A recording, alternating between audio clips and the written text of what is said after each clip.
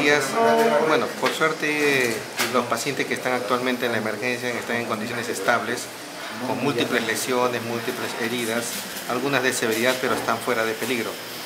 De los 27 pacientes que han ingresado, lamentablemente uno fallecido que es el cobrador del ómnibus, Después todos están acá en forma estable.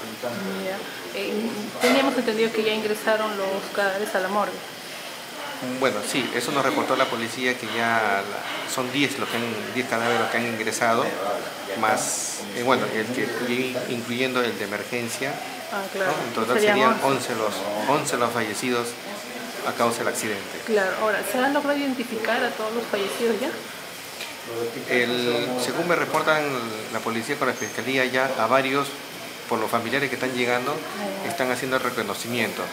Eh, los que estarían, los que no estarían como NN ya había que venir ya los médicos legistas para que hagan el diagnóstico correspondiente, pero gracias al periodismo este, muchos de los familiares se están acercando en la cual ya es posible que lo estén reconociendo. Ah, entonces, entonces confirma son 11 los fallecidos. Bueno, eh, yo puedo confirmar que es uno de acá del hospital y los 10 que me informa la policía, ah, ¿no? que en total es 11 porque como ustedes saben prácticamente la policía los lleva directamente a la morgue, no los ingresa por acá por el hospital. Claro. Ahora, la situación de los heridos, este, hay menor, una menor de edad. Sí, hay una menor de edad de 6 años, la cual también está fuera de peligro, está con múltiples golpes, pero está fuera de peligro. Ah, ya, ya. Ahora, los, este, los heridos son de acá de la zona, ¿qué información se tiene?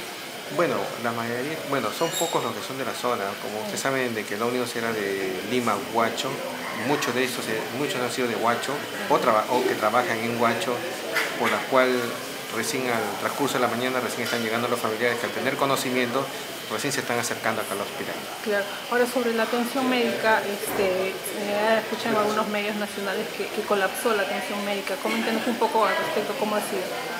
Bueno, el hospital tiene su plan de contingencia. El hecho de que colapse, el hecho de que esté lleno el hospital no quiere decir que colapse. Ya este, las emergencias que comienzan a, llegar, que no son del accidente, en este caso ya se les comienza a transferir al hospital de Guaral, entonces la atención se dedica exclusivamente a los accidentados, a los heridos del accidente, ¿no? Conforme ya se van dando de alta, ya, se van, ya van ingresando las otras emergencias comunes que ocurren acá en, la localidad. Claro. Ahora, ¿cuánto personal médico se ha movilizado o personal de servicio para esta atención? Bueno, Acá el personal de emergencia, los médicos aproximadamente son seis y aparte de las enfermeras, el personal técnico y personal de limpieza.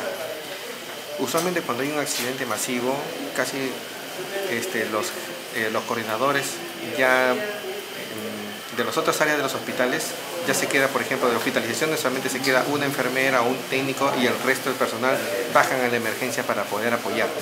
Eso ya es un plan que siempre se ha venido haciendo, en el cual casi todo el hospital, todo el personal este, colabora.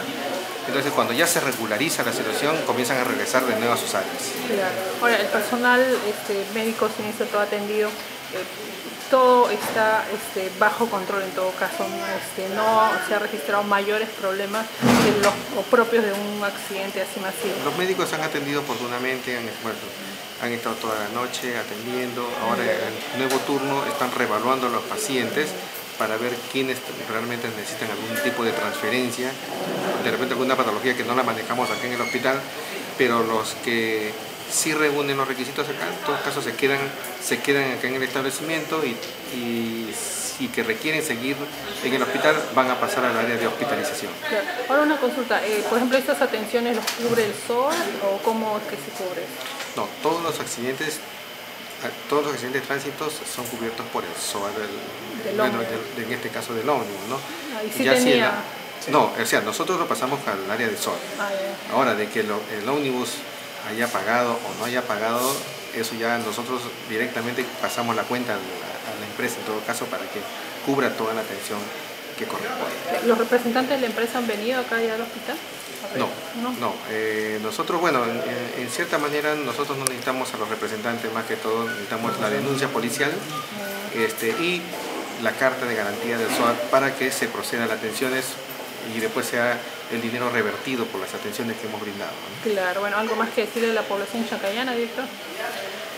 Bueno, este, volver a repetirles de que siempre tomen sus precauciones, de que no manejen imprudentemente, nos informan de que el que manejó la combi está en estado de ebriedad, que fue ocasionó, y bueno, y esto siempre viene ocurriendo. Lamentablemente en el hospital de Chancay parecen mucha cantidad de accidentes y cada vez son de mayor envergadura, de mayor gravedad, y espero que la gente tome precaución del caso para que esto disminuya.